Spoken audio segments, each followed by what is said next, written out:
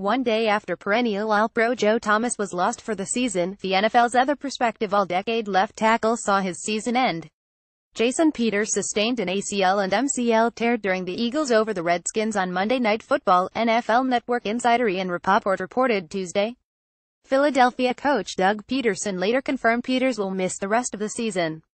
Peters was fitted for an air cast and carted off the field after his lower leg was pinned under the body of Redskins defensive tackle Ziggy Hood early in the third quarter.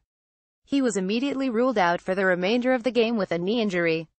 Peters' teammates swarmed the cart and gave him an emotional send-off, a nod to the severity of the knee injury and the respect with which the nine-time Pro Bowler is held in Philadelphia. A 166-game starter across 14 NFL seasons, Peters had been playing at a high level through six and a half games, keying one of the league's most effective offensive lines. Peters' value to a Super Bowl contender cannot be overstated. After struggling as a stand-in for right tackle Lane Johnson in extended action last season, Halapoulivaati Vaitai will now be charged with protecting the blind side of emerging MVP candidate Carson Wentz. Doug Pederson said teams still talking about who will be their new left tackle.